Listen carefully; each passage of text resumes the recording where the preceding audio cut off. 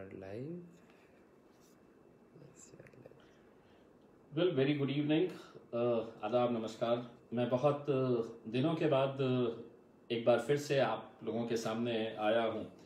Uh, Aurangabad ज़िले के ही नहीं मैं जिस मुद्दे के ऊपर बात करने के लिए आया हूँ ये औरंगाबाद के लोगों से तो ताल्लुक़ रखता है लेकिन मैं समझता हूँ कि तमाम गरीब लोगों से ताल्लुक़ रखता है। मैंने आज इस वीडियो को बनाते वक्त मैंने इसका सब्जेक्ट दिया है कि real issues versus fake issues देखिए, राजनीति के अंदर लोगों को किस तरह से बेवकूफ़ बनाया जाता है, किस तरह से अपना स्वार्थ हासिल करने के लिए कैसे कैसे हथकंडे अपनाए जाते हैं, इसकी अगर कोई ज़िंदा मिसाल अगर देखनी है तो पिछले कुछ दिनों से मेरे अपने शहर औरंगाबाद के ताल्लुक से जो एक गरमाया हुआ मुद्दा है कि हम औरंगाबाद शहर का नाम बदलने वाले हैं, हम औरंगाबाद शहर का नाम बदलना चाहते हैं क्योंकि ये सबकी राय है। मैं एक सवाल करना चाहूँगा, अगर शहरों के नाम बदलने से अगर सब मसले हल होते हैं तो मेरे हिसाब से हर देश के हर शहर का नाम बदल देना चाहिए। एक सवाल मैं करना चाहूँगा उन राजनीतिक पार्टियों से जो पिछले तीस सालों से इसी महानगर पालिका के अंदर सत्ता में बैठे हैं। और इस शहर की क्या हालत हुई है, आप भी जानते हैं। औरंगाबाद से ताल्लुक़ रखने वाले लोग ये बात अच्छी तरह से समझते होंगे कि कुछ साल पहले तक औरंगाबाद शहर एशिया के फास्टेस्ट डेवलपिंग सिटीज़ के अंदर गिना जाता था। आज महाराष्ट्र के चार पाँच शहरों के अंदर भी हमारी गिनती नहीं है। हम बहुत पीछे चले गए हैं और इसके लिए कौन जिम्मेदार है? तो कहीं ना कहीं कुछ ना कुछ ज़िम्मेदारी तो उन राजनीतिक पार्टियों की होगी जो सत्ता में रहे, चाहे वो राज्य सरकार के अंदर हो या महानगर पालिका के अंदर। अब महानगर पालिका के अंदर पिछले जब तीस सालों से भारतीय जनता पार्टी और शिवसेना सत्ता में है तो शहर की हालत, सड़कों की क्या थी, ये आप अच्छी तरह से जानते हैं। पिछले साल तक हमारे शहर की पहचान कचरे के शहर के रूप में जानी जाती थी। हम देश भर में कहीं पर भी जाते थे तो लोग हमसे एक ही सवाल करते थे अच्छा आप औरंगाबाद से आके कचरे का मसला क्या हुआ है? तो हमारी पहचान हो गई थी ये कचरा। और ये कचरे के लिए अगर कोई जिम्मेदार थे तो वो लोग जो राजनीति के बल के ऊपर महानगर पालिका के अंदर सत्ता तो हासिल कर लेते हैं, लेकिन सत्ता में आने के बाद सिर्फ़ लूट का काम करते हैं। आज भले ही शिवसेना अलग हो गई है भारतीय जनता पार्टी अलग हो गई है। लेकिन जब लूट का मामला आया था, इस शहर को लूटने का मामला आया था तो दोनों ने दिल खोल के शहर को लूटा, शहर को बर्बाद करने के अंदर अगर किसी मैं राजनीति के तौर के ऊपर नहीं बोल रहा। आप मुझसे डिबेट कर सकते हैं, आप मेरी आलोचना कर सकते हैं, लेकिन कहीं ना कहीं आपके मन में ये सवाल ज़रूर आएगा कि हाँ इस शहर को के लिए अगर कोई जिम्मेदार है तो यही लोग हैं जो हर पाँच साल के बाद आते हैं और आपको एक ऐसे भावनिक मुद्दे के अंदर आपको उलझा देते हैं कि आप उस भावनिक मुद्दे के अंदर अपने आप को ढूंढते हैं और ये समझते हैं कि नहीं इससे बड़ा मुद्दा मेरे पास कोई नहीं है। क्या ये सही बात नहीं है कि इलेक्शन जब भी आते हैं तो हिंदू मुसलमान किया जाता है आ, औरंगाबाद संभाजी नगर किया जाता है हिरवा पहजे का भगवा पहजे, ये इस तरह के ही मुद्दों के ऊपर इलेक्शन लड़े जाते हैं। मैं एक बात साफ़ तरीके से कहना चाहता हूँ। इस देश का एक नागरिक की हैसियत से महाराष्ट्र में पैदा होने का मुझे गर्व है और मैं समझता हूँ कि इन तमाम जितने भी राजनीतिक पार्टी के लोग जो छत्रपति शिवाजी महाराज का नाम लेते हैं और उनके नाम का दुरुपयोग करते हैं या छत्रपति संभाजी महाराज का दुरुपयोग कहते हैं, मैं उनके लिए एक साफ़ बता देना चाहता हूँ, तुम लोगों से कहीं ज़्यादा आदर और सम्मान इन महान नेशनल लीडर्स का हम करते हैं। क्योंकि आप तो इन्हें सिर्फ़ राजनीति का एक खिलौना समझ रखे हैं कि राजनीति के अंदर हमारे स्वार्थ के लिए इनके नाम का इस्तेमाल करो और अपनी दुकान अपने धंधे चलाते रहो। भाजपा और शिवसेना जब महानगर पालिका में थी, राज्य सरकार के अंदर थी, केंद्र सरकार के अंदर थी, क्या वजह थी? कि आपने इस शहर के बदलने के, नाम बदलने के लिए है तो आपने पहल नहीं की। आज जब अलग हो जाते हैं तो भाजपा चाहती है कि नहीं, अब इसका क्रेडिट हमने लेना चाहिए। शिवसेना सोचती है कि नहीं, अगर हमने, अगर इसके ऊपर हल्ला गुल्ला नहीं किया तो भारतीय। लेकिन ये राजनीतिक पार्टियों के बीच में अगर कोई पिस रहा है तो औरंगाबाद की जनता पिस रही है। वो किस तरह से पिस रही है, एक छोटा सा उदाहरण मैं आपको देना चाहता हूँ। 2013 में औरंगाबाद को एक 200 बेड का हॉस्पिटल सैंक्शन हुआ था। ये 200 बेड का हॉस्पिटल सैंक्शन होने के बाद लगातार दो तीन सालों तक इसके ऊपर कुछ हुआ ही नहीं। कलेक्टर साहब लेटर लिखते, तहसीलदार को, तहसीलदार सिविल सर्जन को लेटर लिखता, सिविल सर्जन किसी और को लिखता कि हमको ये हॉस्पिटल बनाने के लिए ज़मीन चाहिए। मैंने जब ये आमदार बना मैं 2014 के अंदर और जब इसका रिव्यू लिया तो मुझे हैरानी हुई कि शहर के अंदर एक ही हॉस्पिटल है, सरकारी वो घाटी हॉस्पिटल है, जहाँ पर सिर्फ़ औरंगाबाद के ही नहीं, बल्कि आसपास के तेरह जिलों के गरीब मरीज़ यहाँ पर इलाज करते हैं। कैसी हालत होती है उनकी? कभी वो लोग जो राजनीति कर रहे हैं, जाकर देखिए लेडीज़ डिलीवरी वार्ड के अंदर कि ज़मीन के ऊपर पेशेंटों को लिटाया जाता है। ये आज भी हकीकत है। तो मैंने जब रिव्यू लिया तो मुझे पता चला कि नहीं, सात एकड़ जगह चाहिए और वो जगह मिल नहीं रही। इसी दौरान पता चला कि सरकार ने, सरकारी ज़मीन बाल ठाकरे स्मारक के लिए दे दिए, चलिए दे दिए।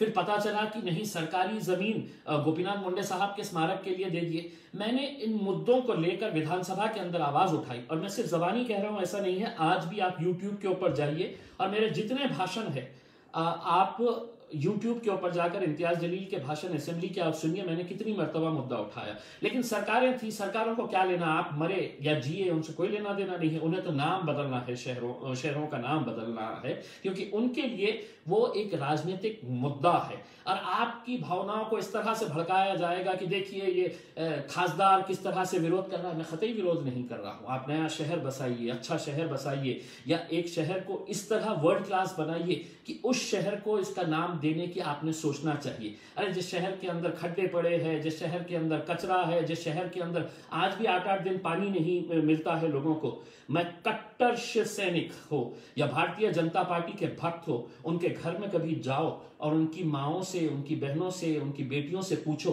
कि तुमको शहर का नाम चाहिए या हर रोज पानी चाहिए। तो वो कहेंगी कि नहीं, हमें हर रोज पानी चाहिए। लेकिन किसे क्या लेना देना है इसमें? आपको तो उसे भड़काने का काम है कि देखिए, इम्तियाज़ जलील विरोध कर रहा है। इम्तियाज़ जलील कभी विरोध नहीं करेगा, क्योंकि इम्तियाज़ जलील बहुत आदर और सम्मान करता है। छत्रपति शिवाजी महाराज हो, छत्रपति संभाजी महाराज हो, बाबा साहब अंबेडकर हो, फुले शाहू हो इन सब का मैं आदर करता हूँ। लेकिन शहर का नाम बदल कर क्या करेंगे? अब सवाल यही पैदा होता है, जब मैंने इस हॉस्पिटल के बारे में रिव्यू लिया बार बार आवाज़ें उठाई, यहाँ के अधिकारियों से मिला, जब कुछ नहीं हुआ तो 2017 के अंदर मैंने Aurangabad bench of Bombay high court के अंदर एक पब्लिक इंटरेस्ट लिटिगेशन डाला और इस लिटिगेशन के अंदर ये बताया कि हमको 2013 के अंदर एक हॉस्पिटल सैंक्शन हुआ था, वो भी 200 बेड का, बहुत भव्य हॉस्पिटल हो सकता है 200 बेड का। और इसके लिए सरकार ज़मीन नहीं दे रही है। वो पब्लिक इंटरेस्ट डेडिकेशन एडमिट हो गई 2017 के अंदर। अब मैं आपको बताना चाहता हूँ कि आपकी ज़िंदगी के साथ खिलवाड़ कैसे करती है? चाहे वो भारतीय जनता पार्टी हो, शिवसेना हो, या कांग्रेस हो, एनसीपी हो, ये सभी राजनीतिक पार्टियाँ एक साथ मिलकर आ गए हैं। ये देखिए मेरे पास, मेरे पब्लिक इंटरेस्ट लिटिगेशन का, ये जो आखिरी का जो ऑर्डर आया था ये public in high court of judicature of Bombay bench at Aurangabad public interest litigation number 99 of 2017 Syed Imtiyaz Jaleel versus the state of Maharashtra and others ये केस है। पब्लिक इंटरेस्ट लिटिगेशन नंबर 99 और 2017 के अंदर मैंने file किया। 12 मार्च 2020 यानी कि पिछले साल जब कोरोना चल रहा था, वही टाइम के ऊपर ये मैटर जब हाईकोर्ट के अंदर आया तो हाईकोर्ट ने एक पॉइंट बताया है। वो पॉइंट मुझे आपको बताकर, बताना बहुत ज़रूरी है। पॉइंट नंबर पाँच चार है। उसमें लिखा है रिस्पॉन्डेंट नंबर वन यानी कि state government of Maharashtra is granted time till third April 2020 to file reply pointing out how much time would be required to start the construction of building out hospital and how the funds would be made available so that the construction continues without any hindrance मैं थोड़ा सा इसका अनुवाद कर दूँ आपको कि Mumbai high court ने ये अपने ऑर्डर के अंदर बताया कि हम स्टेट गवर्नमेंट ऑफ़ महाराष्ट्र से तीन अप्रैल 2020 तक ये पूछना चाह रहे हैं कि आखिर आपको कितना टाइम चाहिए ये कंस्ट्रक्शन हॉस्पिटल का शुरू करने के लिए? और एक बार शुरू हो जाए तो विदाउट कोई रुकावट के ये हॉस्पिटल का काम चलता रहे, आप बताइएगा। मार्च 2020 हम आज कहा है? जनवरी 2021 अब होना यह चाहिए था कि ठीक है, हम भी समझ सकते हैं कि मार्च में कोरोना आया, अप्रैल, मई, जून सब चले गया। कोरोना की वजह से हो सकता है कि आपने डिले किए हैं। लेकिन जब ये सब कुछ खुल गया है तो मुझे बताइए, क्या देवेंद्र फडणवीस साहब ने, क्या भारतीय जनता पार्टी के चंद्रकांत दादा पाटिल ने, क्या उद्धव ठाकरे साहब ने, क्या यहाँ के स्थानिक नेताओं ने, मैं ओपन चैलेंज करके कहता हूँ, ओपन चैलेंज करता हूँ, या कांग्रेस और राष्ट्रवादी, क्योंकि आपकी सरकार के अंदर बैठे हुए हैं, आपके भी नेताओं से मैं पूछना चाहता हूँ, कितने लोगों ने इस हॉस्पिटल के बारे में चर्चा की है या इस हॉस्पिटल के बारे में सरकार से सवाल किया कि जब तुमको यह बताया गया है कि तीन ए, ए, मार्च 2020 तक आप ये बता दो कि ये हॉस्पिटल कब शुरू होने वाला है इसका कंस्ट्रक्शन। इतने महीने बीत गए हैं लेकिन अब इस हॉस्पिटल के बारे में कोई चर्चा नहीं है। हाईकोर्ट के ऑर्डर के बाद भी अभी तक क्या हुआ? अभी तक इसका टेंडर तक नहीं निकाला गया है। क्यों नहीं निकाला गया है? कि कभी कोई इलेक्ट्रिकल डिपार्टमेंट इसका डिले कर देता है, कभी कोई सरकार वाले इसको है तो लेटर नहीं देते हैं। आज तक इसका टेंडर नहीं निकाला गया है। फंड आकर पड़ा हुआ है। ज़मीन अलॉट की जा चुकी है। और कौन सी ज़मीन अलॉट की गई है? जब गोपीनाथ मुंडे साहब के स्मारक के लिए ज़मीन अलॉट की गई तो मैंने सरकार से यह कहा कि आप हॉस्पिटल बनाइएगा उसके ऊपर। और आपको जिसका नाम देने का है, आप वो नाम दे दीजिएगा। क्योंकि हमारा मतलब हॉस्पिटल से है। नाम क्या है? व्हाट्स देयर इन नेम एक इंग्लिश में कहावत है, हमसे कोई लेना देना नहीं है। लेकिन औरंगाबाद को एक हॉस्पिटल की ज़रूरत है। लेकिन पिछले कई दिनों से हम देख रहे हैं, उद्धव साहब ने कहा कि नहीं, हमारे को नाम बदलना है, क्योंकि कल का उनका एक स्टेटमेंट है, क्योंकि Aurangzeb was not secular Uddhav Sahab, आपके मुँह से, आप कहेंगे कि Aurangzeb was not secular Shiv Sena का जन्म किस बात के ऊपर हुआ था उद्धव साहब? मैं आपसे पूछना चाहता हूँ। आप ठीक है, सत्ता की खातिर आज आज आप सेक्युलरिज्म का चोला उड़े हुए हैं, कांग्रेस और राष्ट्रवादी वालों को अपने गले लगाए हुए हैं, ये राजनीति की खातिर चलता है। लेकिन क्यों आप तोड़ मरोड़ के इतिहास को बता रहे हैं? चंद्रकांत दादा पाटिल ने कहा कि नहीं, बाबर जो था, वो बाबर ऐसा था, औरंगज़ेब औरंगज़ेब ऐसा था करके। अगर मैं आपको ये कहूँ, चंद्रकांत दादा पाटिल साहब, कि अगर आप हॉस्पिटल के बारे में अगर बात करते कि नहीं, हॉस्पिटल पहले बनना चाहिए करके, नाम वाम तो चलते रहेगा करके उसमें लेकिन हमारी इज़्ज़त आपके लिए बढ़ जाती उद्धव साहब, हमारी इज़्ज़त आपके लिए बढ़ती। हम आपके करीब आते और आपका धन्यवाद अदा करते हैं कि अगर आप इस हॉस्पिटल के बारे में बात करते लेकिन आपको भी अपनी राजनीति चलाने की है। आप संभाजी नगर का मुद्दा बनाइएगा, चलाइएगा, लोगों को भड़काने का काम करिएगा। अब यहाँ पे जो आपके भक्त है, वो सोशल मीडिया के ऊपर इम्तियाज़ जलील को गालियाँ देंगे कि नहीं, हे आमचा विरोध करतो हे संभाजीनगरचा विरोध करतो हे संभाजी महाराजचा विरोध करतो नाही करतो स्पष्टपणे सांगतो संभाजी महाराज मेरे लिए आ, मैं समझता हूँ आप लोगों से कहीं ज़्यादा आदर का मुकाम रखते हैं।